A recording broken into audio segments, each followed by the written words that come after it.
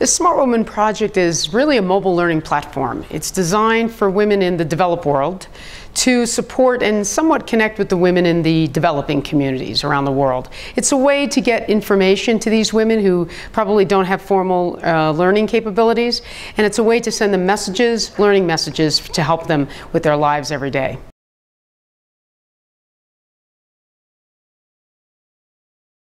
If I get the messages in the States and in New York, and it's going to be written for me, but when we send those messages to the women, say in Indonesia or Colombia or Mexico, it's got to be in their local language and their cultural context, including literacy level. We can't talk too high above them, we can't talk too low for them, but we also have to give them information that's relevant and hyper, hyper local.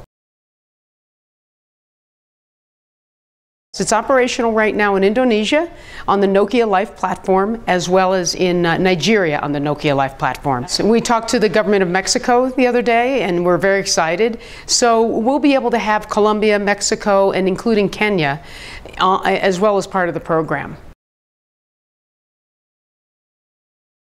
Well, we're working with Alcatel Lucent. Uh, we're going to be working with some folks at Qualcomm.